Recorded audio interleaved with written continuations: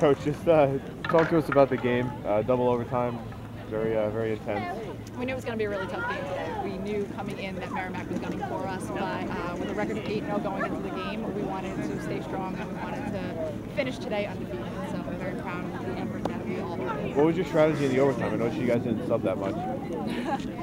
Run, pass, score. Really, it was all about just who had more heart out there. They're a great team also, but I knew that we really had it in us to go out there and really finish strong. We're a good overtime team. Unfortunately, going to overtime stresses me out, but I'd rather not, rather win it in regulation.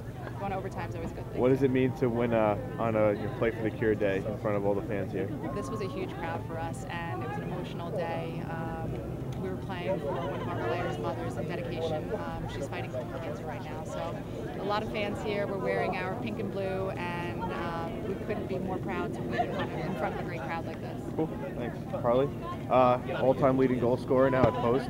Tell us what that means. Uh, it means a lot to me. I couldn't do it without my team. All because of them, really.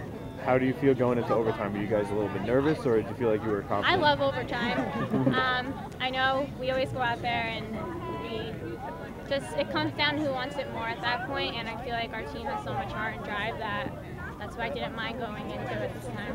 What was the uh, the strategy for you guys on the field uh, in the second overtime at least? So you guys got that great goal in the end. Was anything planned, or was it just kind of you doing it on the fly? Um, it was kind of take what we get, really, because they're on the corner in overtime. We just there's no set play, just who's open, and I have to be open and finish on that. Thanks. Well, congratulations Thank again. you. Good job, guys. Thank you. Thank you very much.